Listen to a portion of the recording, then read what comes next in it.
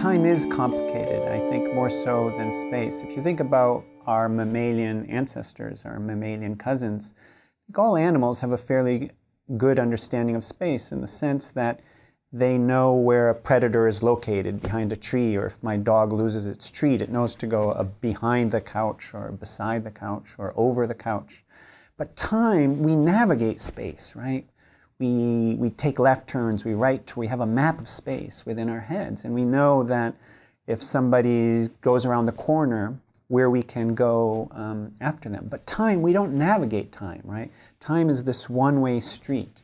And I think in part because of that, time is something that we never evolved to manipulate, to map out, because we have very little options. Time doesn't have any branches or right turns or exits or um, 180 degree um, wraparounds. So I think the brain of, of, of most mammals um, didn't evolve to manipulate, to think about time as much as um, space. So I think humans are unique in the sense that we, and perhaps we alone, have this notion of the past, present, and future being fundamentally different from each other, an ability to map out time.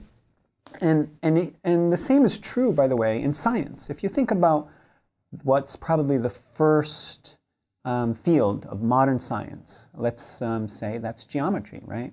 Geometry, as formalized by Euclid over 2,000 uh, years ago, is probably the first field of modern science. And why? I think the reason is, is because the universe is a simpler space, place if we can ignore time.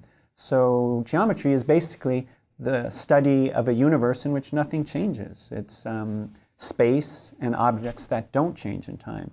It took another um, took another 2,000 years for people great scientists like Galileo and Newton to fully incorporate time into mathematics and physics and, and to further bring physics into its renaissance in which it fully embraced time and its complexity. Biology as well. Uh, up until the 1800s, biology was fairly static until uh, Darwin came along, playing the role of Galileo, and said, look, species change, they're in motion. They're mutating and adapting. I think neuroscience is just reaching that stage now in which it's fully coming to embrace the time and its full complexity along with dynamics um, and look at the brain as a time machine of sorts. So the brain is indeed uh, an illusion factory. Many of the things that we experience in the world around us are an illusion in one sense of that word. So a common example is color. So color we perceive in this vivid, um, this vivid array of different sensory experiences um, is something that in many ways is an illusion because color doesn't exist in the physical world. What exists in the physical world is wavelength, the wavelengths of um, visible light of the electromagnetic spectrum. The brain, if you will, imposes a sensory percept on top of those wavelengths, which is subject to many illusions. The, the intensity of green or intensity of blue that we see often doesn't exactly match the wavelengths that we're seeing anyways. So it's reasonable to ask, well, maybe our sense of time or our sense of flow of time is an illusion. But I think there's an important difference between those two subjective experiences. So our sense of color correlates very tightly with something in the external world with a physical property, um, which is visible light. And that's why it's adaptive. So color evolved, our perception of color evolved because it was adaptive, it was uh, evolutionarily adaptive to provide um, information about the external world. The color of a snake may tell us very important information, whether it's um, poisonous or not. Now, presumably, our sense of the flow of time should be adaptive as well um, most of our subjective experiences presumably have some evolutionary advantage to them.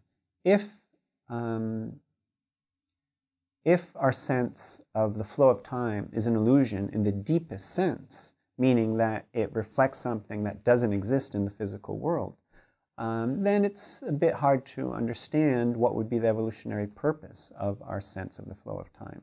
So I think there's, there's reasons in which, to which physicists and neuroscientists have to um, collaborate more and to resolve these mysteries. Should we look at the sense of the flow of time, our subjective sense of the flow of time, which is very profound, right? Virtually every human on the planet has this unmistakable feeling of time flowing. And we have to decide if that unmistakable feeling of time flowing by is something that evolved because it offered a selective advantage about what's happening in the world. Um, and thus it correlates, correlates with a property of the universe that really exists, or if in contrast it's an illusion that doesn't um, correspond to any property of the physical world. And then, in that case, physicists um, don't have to explain the basis of the illusion of consciousness, I mean, the illusion of the, of the nature of the flow of time, but neuroscientists have to work um, to resolve that mystery. On the other hand, if we accept that our sense of the flow of time is a valid empirical observation about the external world, then physics, physics has to um, attempt to explain what we are perceiving.